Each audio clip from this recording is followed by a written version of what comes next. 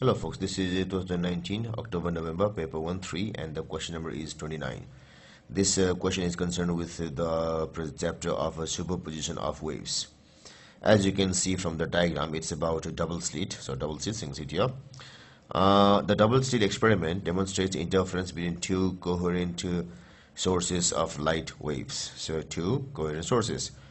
In the diagram, the curved lines represent wavefronts, so these are the wavefronts here at which point does a complete destructive interference or a minima minimum occur.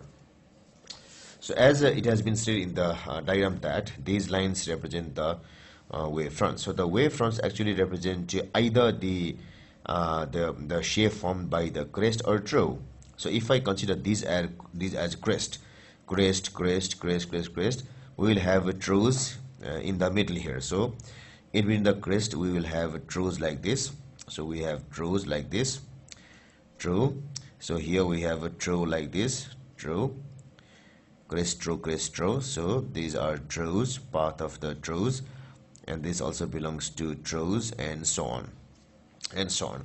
So we can draw this pattern throughout the, this thing. So so uh, what it now have is uh, maxima occurs uh, the maxima will occur maxima will occur where crest adds up with crest or trough adds up with trough.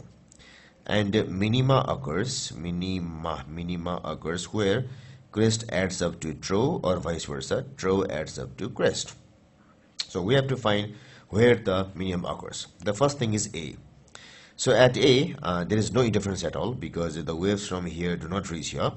So it simply has uh, um, it simply has the uh, intensity intensity which is available here so here we we neither have positive interference constructive nor destructive. So uh, the intensity is somewhat middle somewhat middle. So we don't have a minima here neither we have a maxima. It's somewhere middle. So a is not the correct choice. Then comes b. So b is the point of intersection of intersection of crest and crest. So crest and crest should be maxima. So here it will be maximum amplitude. Then comes uh, let us say c.